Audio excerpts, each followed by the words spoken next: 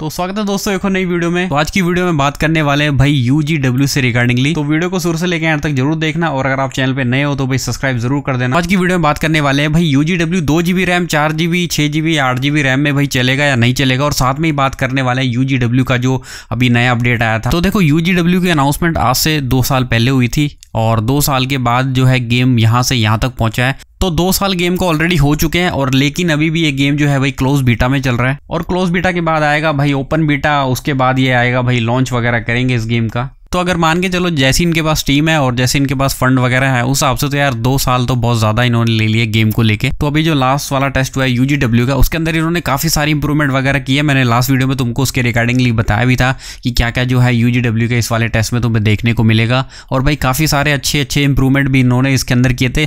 लेकिन उस वीडियो में मैंने तुमको एक बात बोली थी। तो वो एक बात मैंने ये बोली थी कि भाई इनको ज़्यादा फोकस करना पड़ेगा ऑप्टिमाइजेशन के ऊपर। तो इस चीज़ को बोलने का सबसे बड़ा रीजन ये भी था कि भाई इंडिया में लोगों के बाद दो जीबी चार जीबी, छह जीबी और आठ जीबी रैम के डिवाइस है। इंडिया में ज़्यादातर लोगों के पास जो है मिड रेंज वाले डिवाइस है। और अगर ये गेम के अंदर भाई ऐसे अपडेट देते रहेंगे और ऑप्टिमाइजेशन वगैरह नहीं करेंगे तो भाई गेम के भाई बहुत जल्दी जो है एल वगैरह लगने वाले हैं। तो लास्ट वाला जो बीटा हुआ था, उसमें बहुत सारे लोगों को भाई डाउनलोडिंग वगैरह में प्रॉब्लम आ रही थी। साथ में उनको प्रॉब्लम आ रही थी, वो मैच वगैरह भी ज्वाइन नहीं कर पा रहे थे, और भी साथ में लैग और बहुत सारे लोग बोल रहे थे कि पहले वाला जो बीटा था, उससे भाई बेकार ये जो लास्ट वाला बीटा इन्होंने दिया है, वो है। तो इन्होंने काफ़ी सारे अपडेट तो गेम के अंदर पुश कर दिए, लेकिन भाई ऑप्टिमाइजेशन की जो है भाई ऐसी तैसी कर दी। तो मैं भाई उम्मीद करूँगा कि जो इनका अगला जो बीटा आएगा, उसके अंदर ये भाई ये सारी चीज़ें फिक्स कर देंगे। तो बात कर लेते हैं रैम की, कि भाई ये कितने जीबी रैम वाले डिवाइस में चल जाएगा इजिली जिसके लिए भाई तुमने वीडियो को क्लिक किया तो सबसे पहले बात कर लेते हैं दो जीबी रैम की। तो देखो तो रैम इतना ज़्यादा मैटर नहीं करती है, जितना ज़्यादा मैटर करता है भाई आपके फ़ोन में। प्रोसेसर कौन सा है गेम को चलाने वाला? क्योंकि अगर आप यूजीडब्ल्यू को चलाओगे तो ये जो आपके फ़ोन की, मान लो आपके फ़ोन के अंदर दो जीबी रैम है तो ये भाई फिफ्टी परसेंट रैम यूज़ कर लेता है। इसी तरह से भाई इंडस भी यूज़ करता है, वो भी सात आठ सौ नौ सौ एमबी के आसपास आपकी रैम यूज़ करता है। भले ही आपके डिवाइस में जितनी मर्ज़ी रैम हो।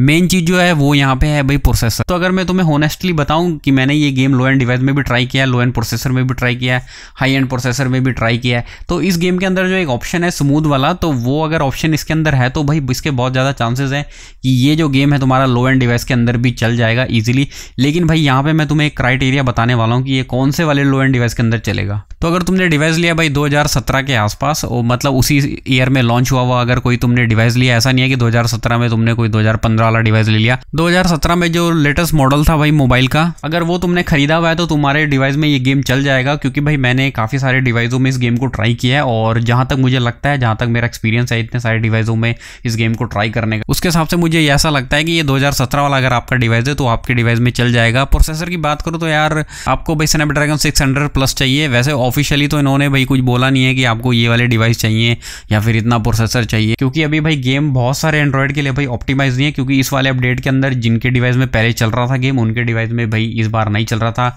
या फिर उनको बता रहा था कि गेम तुम्हारे डिवाइस के लिए बनानी है, जो कि भाई पहले ऑलरेडी इसके बेटा वगैरह खेल चुके हैं। तो यहाँ पे मेन चीज़ आ जाती है ऑप्टिमाइजेशन की। अगर डेवलपर अपनी तरफ़ से ऑप्टिमाइजेशन करेंगे गेम को तो भाई आपके दो जी रैम के डिवाइस में सिक्स प्लस के प्रोसेसर में भी बहुत अच्छा चल जाएगा। तो UGW के बैटर रॉयल का जो कॉन्सेप्ट है ना, वो थोड़ा अलग कॉन्सेप्ट है और वो मुझे अच्छा भी लगता है। यहाँ पे ऐसा नहीं है कि उतरो तुम मारो। यहाँ पे देखो गैंग वाला कॉन्सेप्ट है। तुम्हारे पास दो गैंग है और आने वाले फ्यूचर के टाइम में उन गैंग के अंदर कुछ मेंबर वगैरह भी ऐड होंगे। तो कुछ इस तरह से इनका कॉन्सेप्ट है, जो मुझे लगता है कि थोड़ा यूनिक है और थोड़ा अच्छा भी है। तो जिस तरह के ये फीचर वगैरह ऐड कर रहे हैं, उनसे भाई पता चलता है कि इनका कितना पोटेंशियल है गेम को लेके। मतलब ये, इनकी जो टीम है, जो भाई कॉन्टेंट डिज़ाइन करती है कि हाँ ये फीचर हमें ऐड करने चाहिए, जिस तरह से जूम इन जूम आउट वाला स्क्रीन शेक वाला और फ्यूचर में आने वाले टाइम में और भी बहुत सारे इस तरह के अपडेट तुम्हें देखने को मिलेंगे। तो इस तरह की अगर ये यूनिक चीज़ें गेम के अंदर करते रहे तो भाई ये गेम डेफिनेटली भाई काफ़ी अच्छा चलेगा। लेकिन यहाँ पे एक कैच आ जाता है, वो ये है कि अगर इनको तो गेम में ऐसे फीचर लाने के साथ साथ भाई इनको जो है गेम को ऑप्टिमाइज भी करना पड़ेगा, क्योंकि भाई धीरे धीरे अगर ये इस तरह के फीचर वगैरह ऐड करते रहेंगे गेम में तो और उसके बाद धीरे धीरे अगर उसको ऑप्टिमाइज नहीं करेंगे तो जिनके पास भी भाई दो जी बी चार जी बी रैम वाले डिवाइस है लो एंड डिवाइस है, वो लोग भाई इसको ट्राई नहीं कर पाएँगे, या फिर खेलेंगे भी तो उनको भाई एपीएस ड्रॉप वगैरह भी देखने को मिल सकते हैं। तो किसी भी गेम के लिए ऑप्टिमाइजेशन भाई बहुत ज़्यादा ज़रूरी है डेल्टा फोर्स की बात करें नेक्स्ट लेवल ऑप्टिमाइजेशन है लो एंड प्रोसेसर में भी तुम उसको चला सको, वो एक रेवोल्यूशनरी गेम है, उसके बारे में भाई फिर किसी वीडियो में बात करेंगे।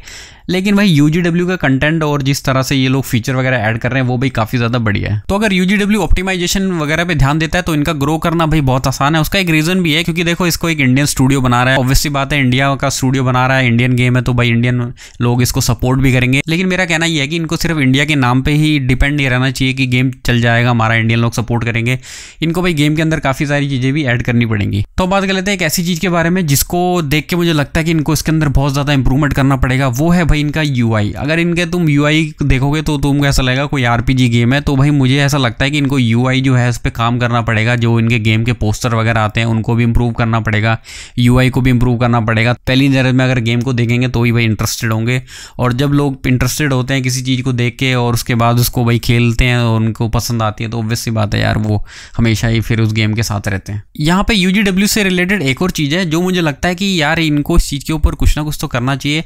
यू तुम्हें एंड्रॉयड वर्जन देखने को मिल जाएगा, लेकिन भाई UGW का आई वर्जन की अभी कोई भी इन्फॉर्मेशन नहीं है, मेरी इनके ऑफिशियल से भी बात हुई थी। तो उन्होंने भी मुझे बोला कि इसके रिगार्डिंगली कोई भी इन्फॉर्मेशन नहीं है।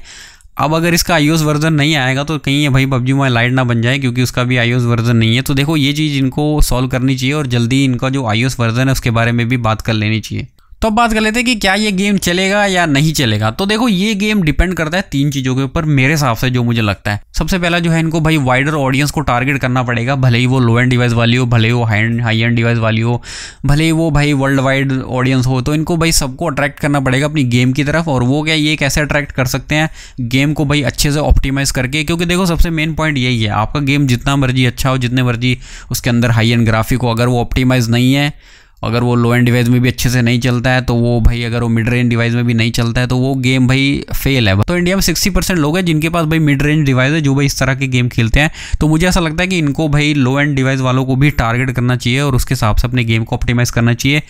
न्यू स्टेट ने ऐसा ज़रूर किया था, लेकिन भाई वो इस चीज़ में फेल हो गए और इसी रीज़न की वजह से जो है वो New State low end device में भाई चलता नहीं है। और जिनके पास हाई एंड डिवाइस है, जो भाई नेक्स्ट लेवल ग्राफिक गेम के अंदर चाह रहे थे, वो भी भाई परेशान है और जो जिनके फ़ोन में नहीं चल रहा है न्यू स्टेट वो भी परेशान है। तो इस चीज़ों के बीच में यूजीडब्ल्यू को भाई बैलेंस बनाना पड़ेगा, कि वो किस तरह से मैनेज करते हैं भाई लो एंड डिवाइस वालों को और भाई हाई एंड डिवाइस वालों को। दूसरी सबसे जो इंपॉर्टेंट चीज़ है, वो इंडिया के अंदर ये है कि अगर ये गेम भाई बूस्ट कराना है इंडिया के अंदर तो इस गेम का भाई ई स्पोर्ट जो है बहुत ज़्यादा इंपॉर्टेंट हो जाता है, क्योंकि तुमको पता है बीजीएमआई इंडिया में भाई वही ई स्पोर्ट्स है और वही भाई ई स्पोर्ट्स का करता धरता है। तो मुझे ऐसा लगता है कि बहुत सारे लोग इंडिया में ई स्पोर्ट्स के अंदर जाना चाहते हैं और वो नई जो है गेम की तलाश कर रहे हैं कि कौन सा गेम उनको मौका देगा ई स्पोर्ट्स खेलने का।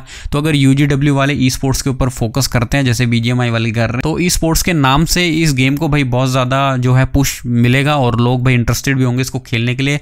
और जैसे जैसे भाई इनके पास ऑडियंस आएगी गेम खेलने के लिए इंप्रूवमेंट तो देखो फ्यूचर में होते ही रहेंगे, क्योंकि भाई लोग फीडबैक वगैरह तो देते ही रहते हैं, लेकिन भाई ई स्पोर्ट्स इस गेम का बहुत ज़्यादा ज़रूरी है। तो बात कर लेते हैं तीसरे पॉइंट की तो ये गेम सिर्फ़ इनको इंडिया में लिमिटेड नहीं रखना चाहिए। इनको इस गेम को भाई वर्ल्ड वाइड भी लॉन्च करना चाहिए और वर्ल्ड वाइड स्टैंडर्ड के हिसाब से इनको अपना गेम जो है ऑप्टिमाइज करना चाहिए। उसके अंदर नए मैप वगैरह लेके आने चाहिए।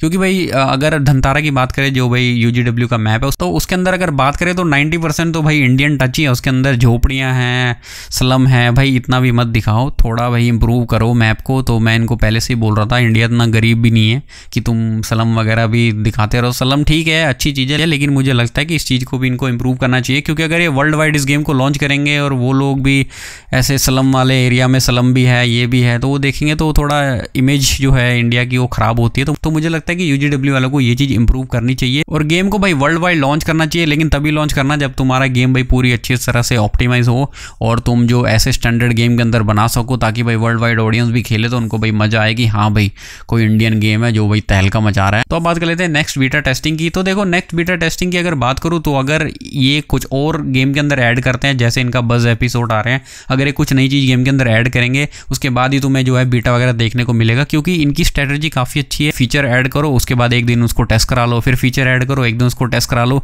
लेकिन भाई, ये अगर ये लंबे समय तक ये चीज़ करते रहे तो वो भी भाई नुकसानदेह है। तो मैं उम्मीद करता हूँ कि जो नेक्स्ट बीटा आने वाला है, वो भाई एक नए बज एपिसोड के बाद ही आएगा, ताकि कुछ वो इन्होंने जो चेंजेस वगैरह किए हैं, वो लोगों को खेलने को मिलेंगे। तो वेट करो एक नए बज एपिसोड का, कि इन्होंने भाई क्या क्या चेंजेस वगैरह किए हैं। तो आज की वीडियो में इतना ही था। आई होप सो तुमको समझ में आ गया होगा कि रैम वगैरह देखो मैटर नहीं करता है। मैटर करता है कि तुम्हारे डिवाइस में प्रोसेसर वगैरह क्या है और उससे भी ज़्यादा मैटर करता है कि क्या भाई डेवलपर ने उस गेम को उतना ऑप्टिमाइज़ किया है कि क्या वो तुम्हारे दो जी रैम वाले डिवाइस में चले। तो जैसे इसका अगला बीटा आएगा तो मैं तुम्हें भाई लो एंड डिवाइस में भी टेस्ट करके दिखाऊँगा हाई एंड में भी दिखाऊँगा कि भाई किस तरह से चल रहा है। तो भाई सब्सक्राइब करके ज़रूर रखना। तो आज की वीडियो में इतना ही था। तो मिलते नहीं वीडियो में। तब तक के लिए टेक केयर बाय